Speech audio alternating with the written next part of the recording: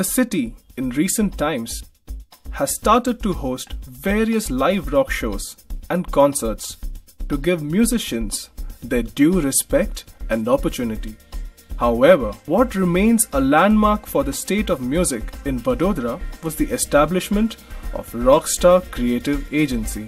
The inception of RCA was the brainchild of certain enthusiasts who lived music and believed in it.